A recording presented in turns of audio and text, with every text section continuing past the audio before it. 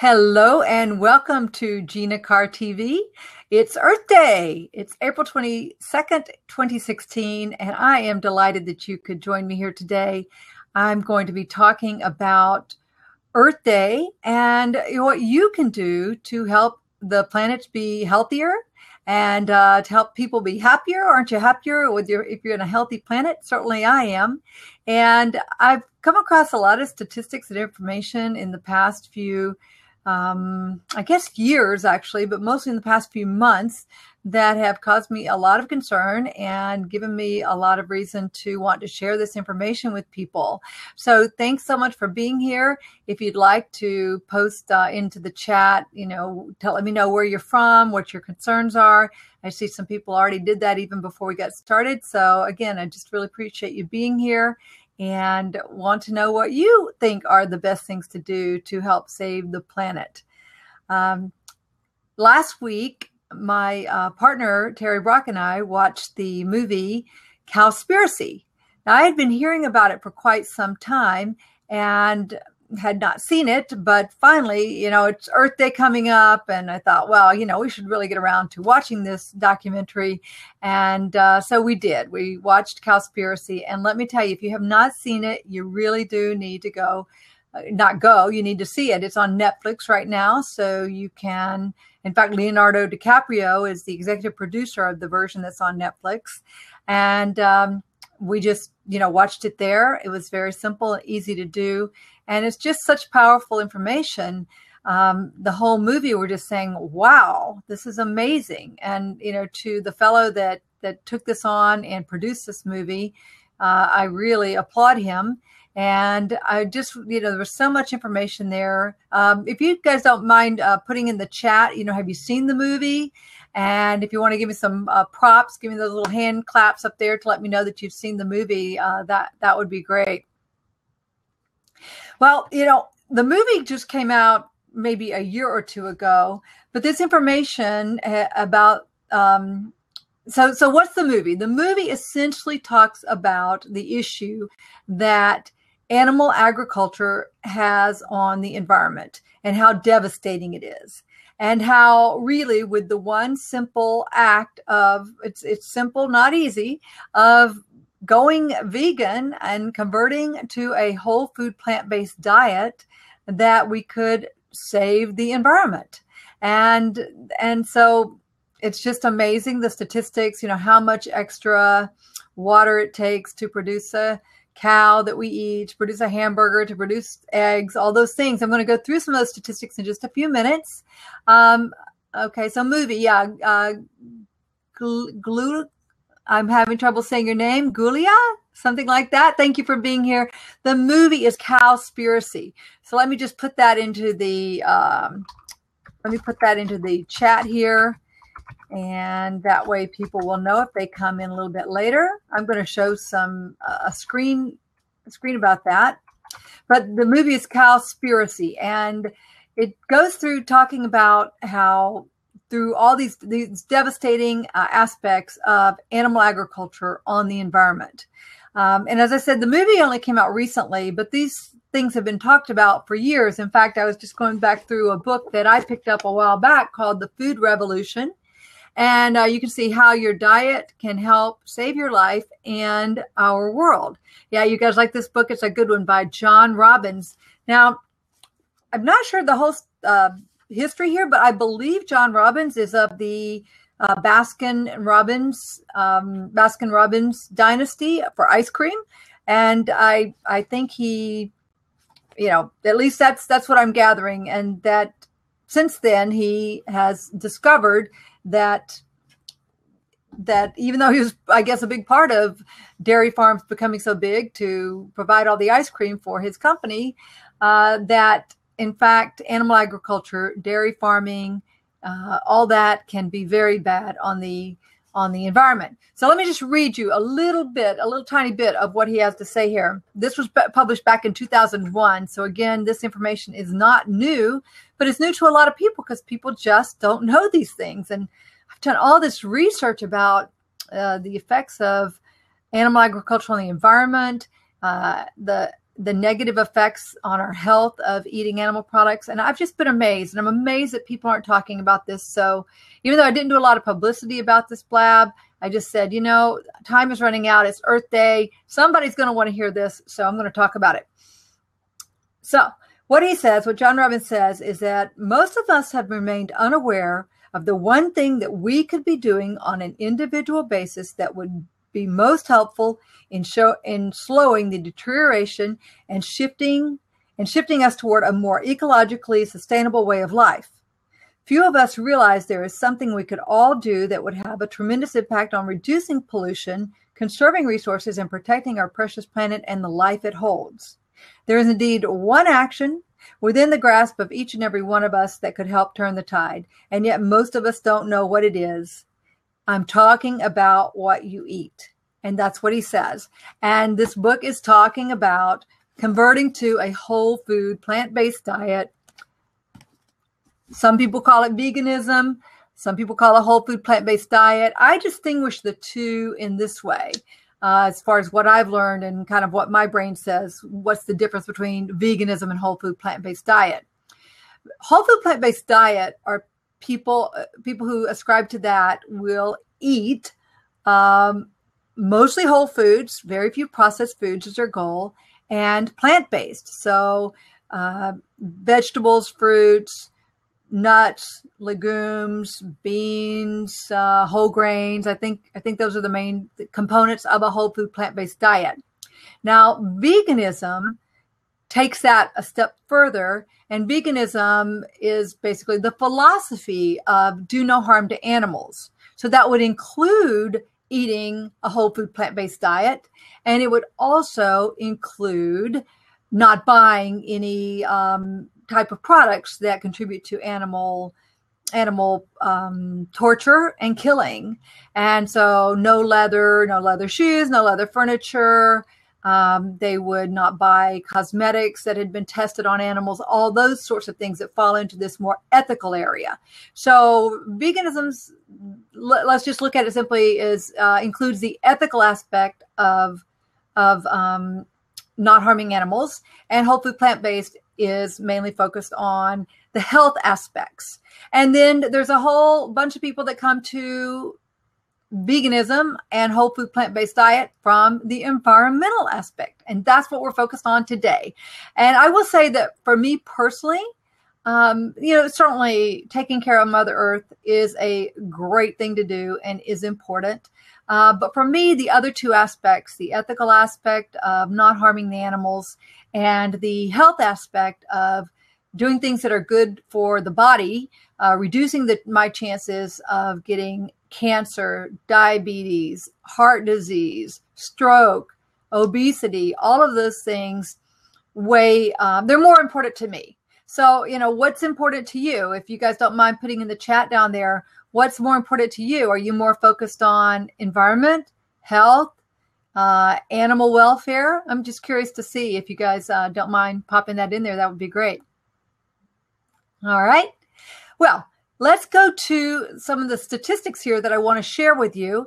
And it's going to ask me to share the screen. And this is a fairly new feature on Blab, so I'm not completely sure how it's going to look in the recording, if it actually will even show. Let's see, it would like to show. So let's go look at my entire screen.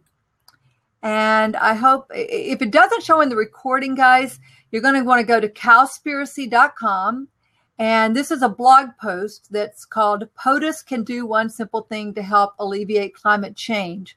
So, um, those of you guys out in the audience, can you see this? Can you see POTUS can do one simple thing to change to help alleviate ch- climate change?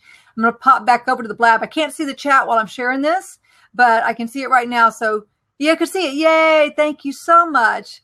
How do you pronounce your name? Is that a GL Glulia? Glulia Monaco? Thank you so much for being there and for helping with that. I really appreciate it. So let's pop back over because this is a great post and there's so many details in here. And I will tell you that um, people said, well, you know, gosh, Tina, you're not an expert in this area. And I'm not. Uh, how do you know that those statistics are true? And I don't. But I do know that um, Leonardo DiCaprio did enough investigation to put his money behind it and to support this. Um, that says a lot to me. And then I know that they have a whole, you know, lots of details here on the website called facts, facts and sources, infographic, frequently asked questions. So right here, we're on facts and sources. And if you scroll down, you'll see tons and tons of facts, right? Uh, I pulled up their uh, infographic right here and you can dig into this. So in fact, this might actually be a good place to start. You can see these different aspects. Um, animal agriculture is the most destructive industry facing the planet today, and here's why. So look at these statistics here. Uh, let's start at the um, up at the top. It says climate change for greenhouse global greenhouse emissions. 51% is due to livestock and their byproducts, whereas only 13% is due to transport, road, rail, air, and marine. Isn't that amazing? Because I bet if you if I just asked you, you would have said you thought a lot of it was due to um, to transportation. You know, they say get rid of your SUV and help the environment. Well, it wouldn't help very much. Stop eating uh, meat for a few days, and it would help a lot. Uh, so this says you know, your carbon footprint. A plant based diet cuts your carbon footprint by 50%, 50%. So that's pretty amazing. Now, uh, water use. Look at this one hamburger. To produce one hamburger, it takes 660 gallons of water. That is the equivalent to showering for two months. If you were just, can you believe that? I mean, that is amazing. So taking shorter showers isn't going to help a whole lot. What would help a whole lot is if you cut back and stop eating hamburgers. Let's see here. USA water use for animal agriculture is 55% of the USA water use versus uh, 5% just for domestic households. Uh, meat and dairy industry use, one third of Earth's fresh water. So I know it's just amazing. Uh, I'm going to go through a few more of these statistics. And to bounce back over to the blab so I can see if you've had any comments or questions. So please put those there. Again, I can't see the chat right now while I'm sharing my screen like this, but I will pop back over in just a minute. So uh, let's see waste. Waste from a farm of 2,500 dairy cows equals the same as waste from a city of 411,000 people. That's pretty amazing. And it says here every minute, 7 million pounds of excrement are produced by animals raised for food in the US. So, with that, uh, I'm going to come back to this screen, but for just a second here, I'm going to pop back over and I'm going to say, hey, uh, you guys, Julia. So it sounds like Julia. Okay, that's easy. Thank you so much. Appreciate it. Um, you know, what questions do you guys have about those statistics? And, and are you as surprised as I am about those statistics? I find they're pretty shocking.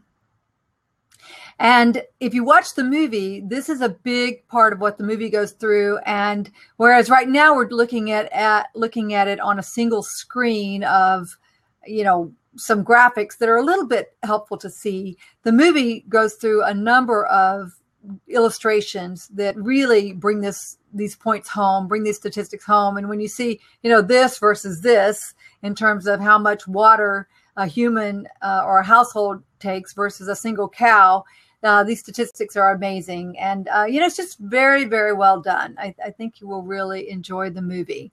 And I see that um, oh, let's see, the fast, a couple people joined there and uh, they popped back out. That's okay. All right, it'd be nice to share. Yes, give the web page for those stats. Yes, so the web page is Cowspiracy, Cowspiracy. Am I spelling right? Something doesn't look right about that. Just a second, Cal. Yes, with an S. Okay, spear com slash facts. Okay, so C O W S P R P I R A C Y slash facts. That's where you can find some of these statistics. So you can go back and look at them later. That's that's certain. All right, so right now I'm going to share my screen again. And let's go back in there and take a look at some of these statistics again.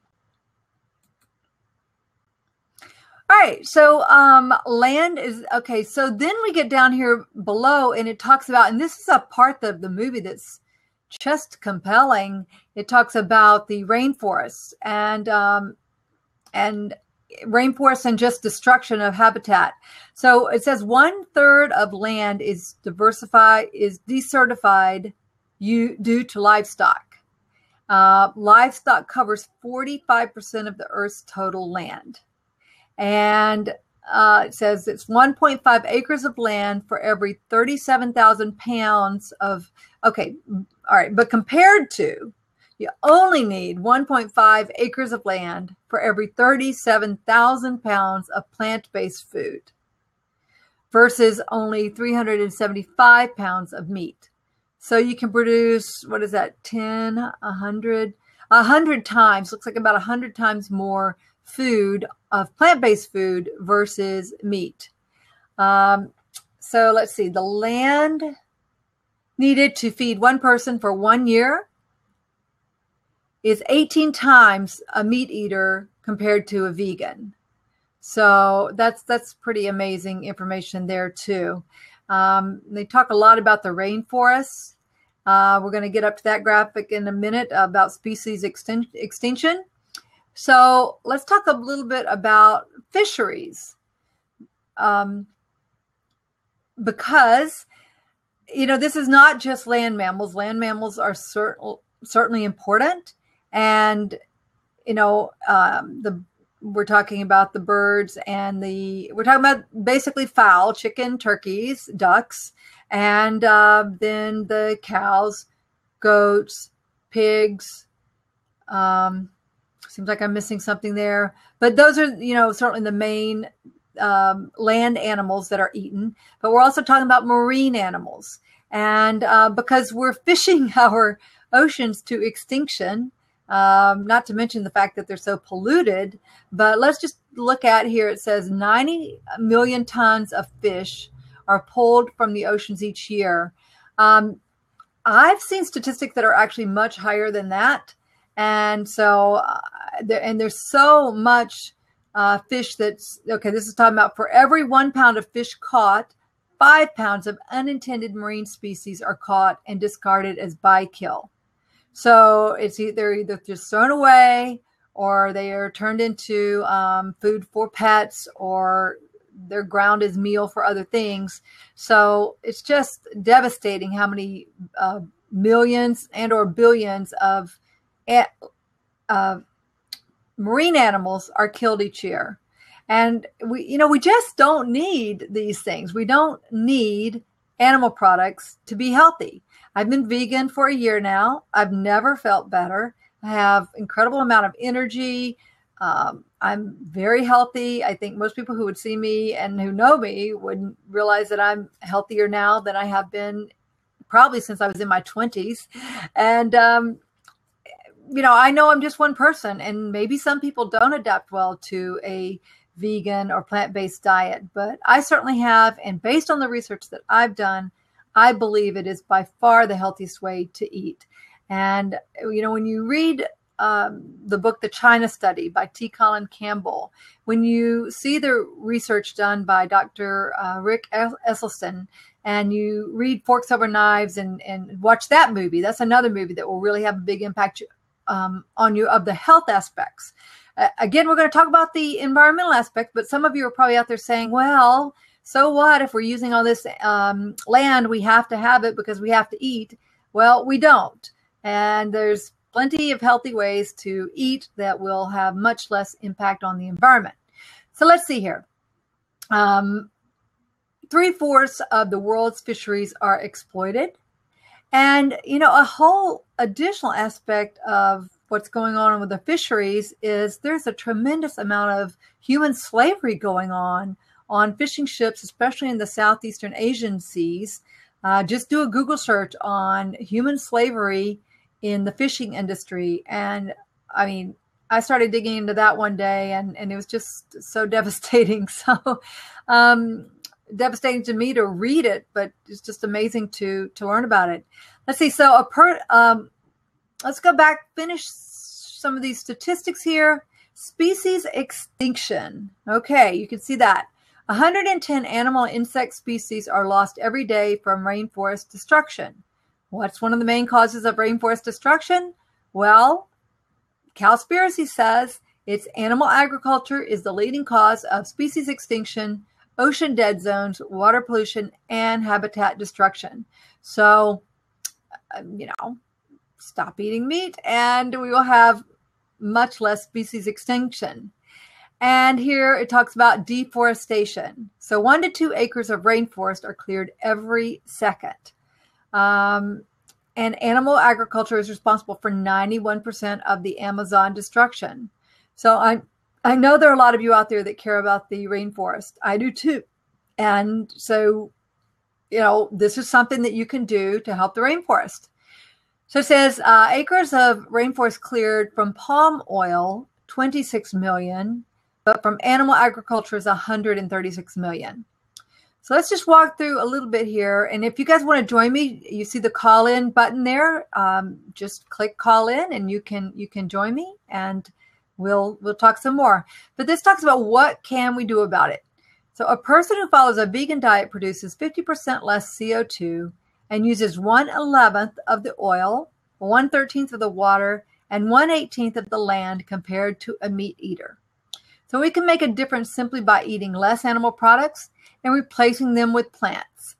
Uh, some people choose to do, you know, they take it gradually. They go to, let, let, let's zap out of here and I'm just going to come back and just go straight to the screen for a little bit here.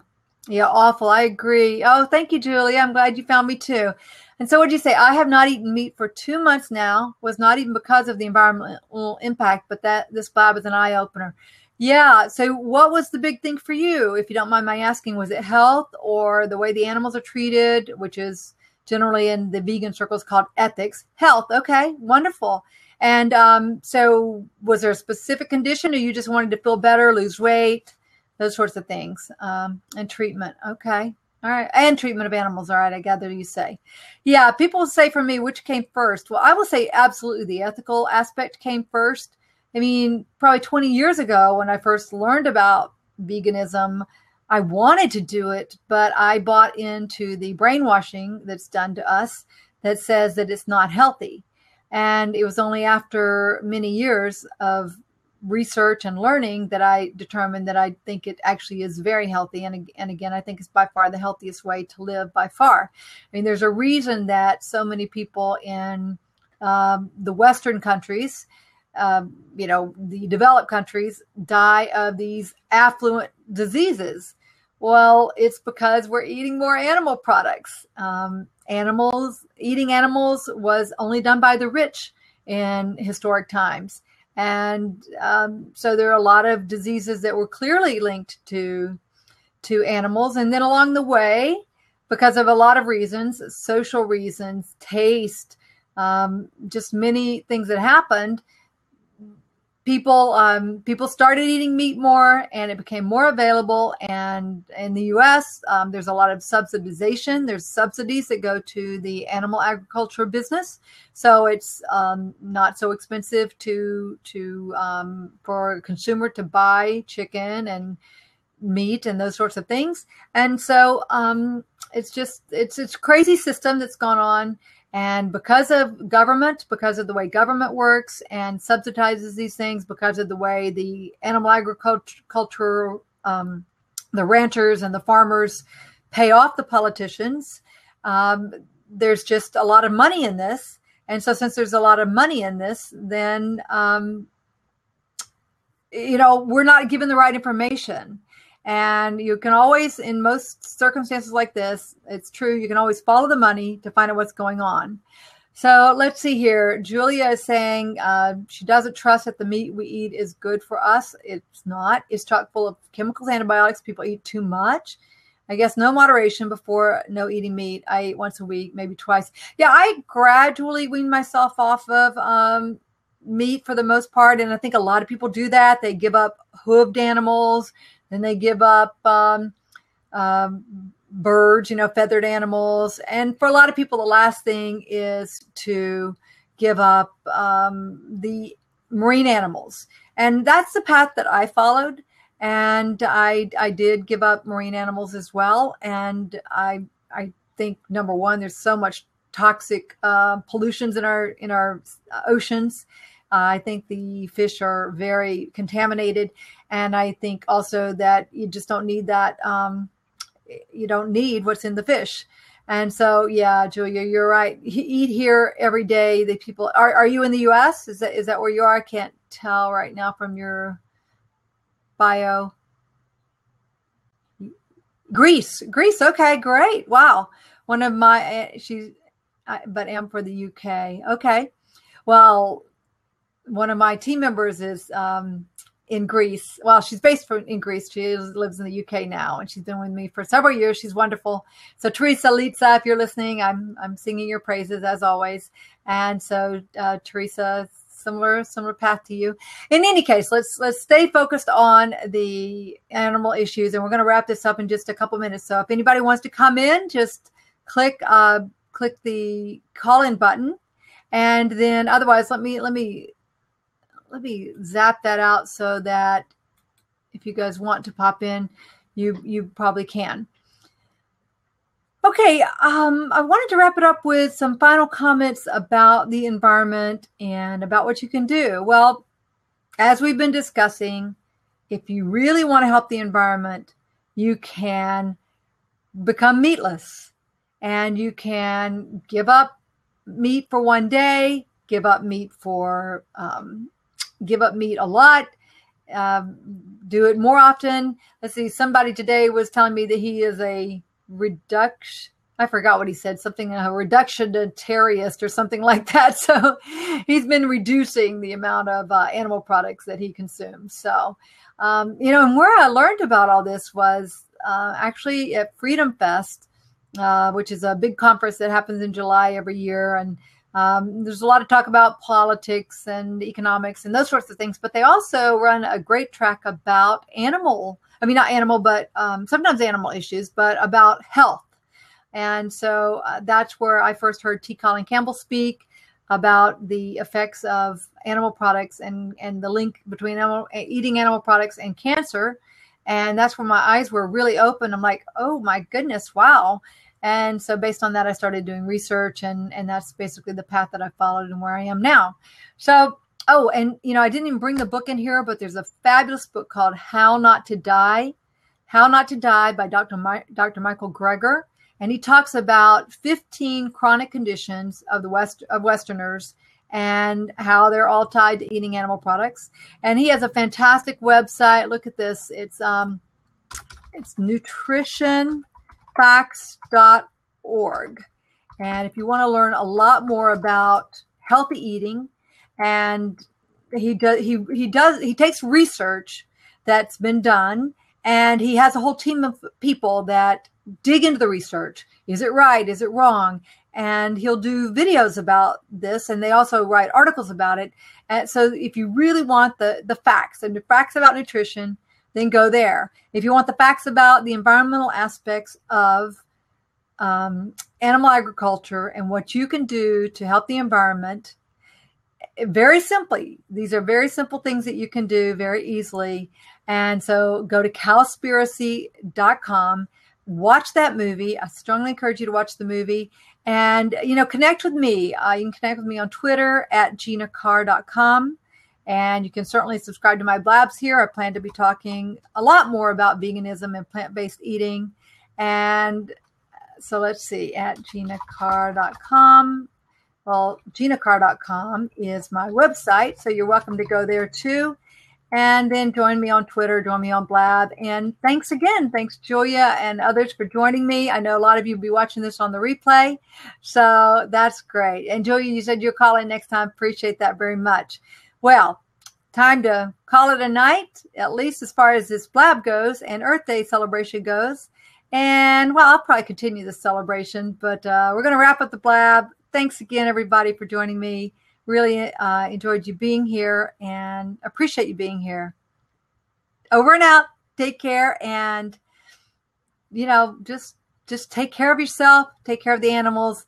Let's live towards a more compassionate world. That that's my goal. Every life, every nation, that's what matters.